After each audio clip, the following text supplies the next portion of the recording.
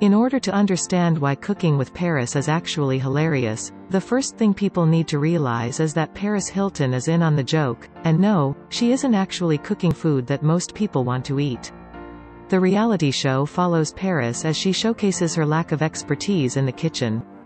Fans also see her picking up the ingredients she needs, being confused about what a whisk is, and sharing the culinary chaos with many celebrity guests. Cooking with Paris dropped on Netflix and it did get some criticism, but many of her fans love it.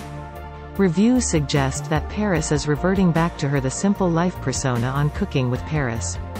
While that might be a fair assessment, Paris's demeanor on The Simple Life certainly entertained many viewers.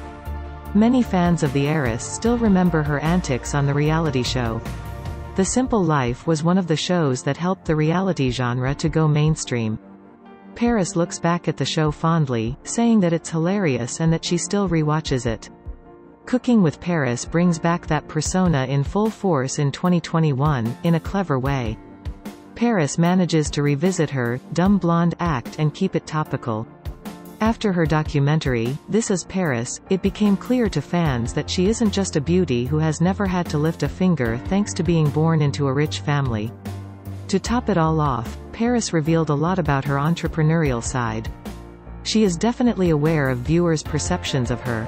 This means that former presidential candidate Paris plays it up, and not just because it's what's expected of her. She also does it because she finds the whole, playing dumb thing funny. Cooking with Paris takes all of that and wraps it in the context of an ongoing, sexist, and distasteful joke about women staying in the kitchen where they belong. Paris plays to the way all-powerful women are perceived, while also reminding fans of the show that jump-started her career. It's no coincidence that the Cooking with Paris guest list is filled with other powerful women, including her mom, Kathy Hilton. Additionally, it's just funny to see a pink-clad Paris dripping in diamonds at the grocery store. Iconic Instagram influencer Paris from Cooking with Paris also comes armed with quotable cooking tips like, Cook it until it's tan, and cute food tastes better. All in all, Cooking with Paris is an experience people should allow themselves to enjoy guilt-free now and again. While it's not everyone's cup of tea, it's quirky enough to be interesting. It also shows the evolution of pop culture icon Paris.